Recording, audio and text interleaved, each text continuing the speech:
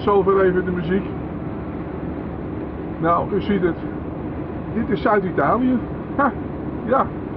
Nou, ik heb eh, in Oostenrijk, eh, tenminste van de week, en eh, niet zoveel sneeuw gezien.